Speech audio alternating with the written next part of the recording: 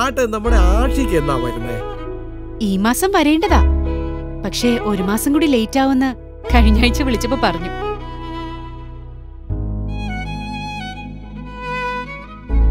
ഈ വീട് പണിയിലൊക്കെ ജീവിതത്തിൽ ഒരു തവണയല്ലേ നടക്കൂ. അത് നമ്മുടെ ആഗ്രഹം പോലെ അങ്ങ് നടക്കട്ടെന്നേ. മോളെ നീ ബേജാറാവണ്ട. നിനക്കും ആഷിക്കിനുള്ള മുറി മേള ഈ ആഷിക്കിന് ചെറിയ എന്തെങ്കിലും കച്ചവടമൊക്കെ ചെയ്ത് ഇവിടെ തന്നെ അങ്ങ് നിന്നാ പോരെ. കുറച്ചു മുമ്പ് ടി വിയിൽ ഒരു ന്യൂസ് കണ്ടു. നമ്മുടെ ആഷിക്ക് ജോലി ചെയ്യുന്ന കമ്പനിയിലെ ബസ് ആരോ തട്ടിക്കൊണ്ടു പോയിന്നും.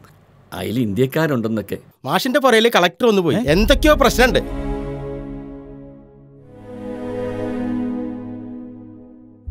പോകാൻ പറ്റില്ല എന്ന് പറയാനില്ലേ ആകെ പ്രശ്നങ്ങൾ അവിടെ ദേവി ഇത് നിങ്ങൾ ഇവിടെ നിന്ന് പോണം. ഇത് ആഷിക്കിനൊപ്പം ബഹ്റൈനിൽ ജോലിയെടുക്കുന്ന ഒരാളുടെ നമ്പറാ ഇതിലേക്കൊന്ന് വിളിച്ചു നോക്കി.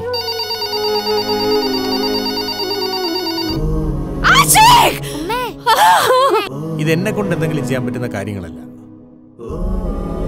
മോൾ ബേജാറാവാതെ ഇതൊക്കെ അവിടെ പതിവ്.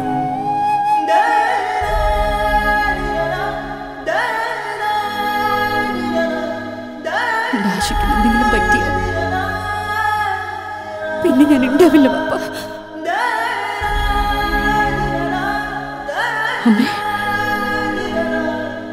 നിങ്ങൾ തന്നെയല്ലേ എന്നെ നൊന്ത് പറ്റിയത്? ശരിയാണ് സാർ.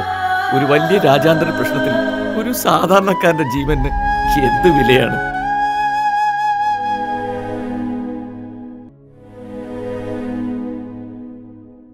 എനിക്ക് ഒരു മനസമാധാനവും ഇല്ല മോളുടെയും കുട്ടികളുടെയും അവസ്ഥ ആലോചിച്ചിട്ട് എനിക്ക് സഹിക്കാൻ വയ്യ.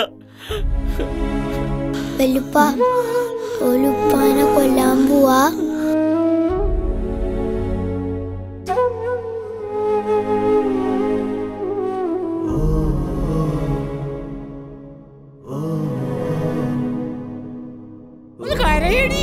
ഒന്ന് കരയടി കരയടി.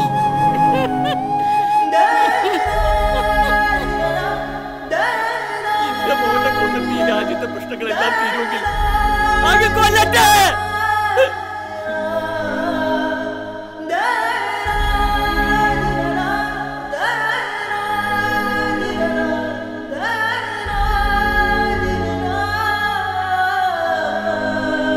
സാരമില്ല മോളെ വിഷമിക്കരുത്. ഞങ്ങളൊക്കെ ഇല്ലേ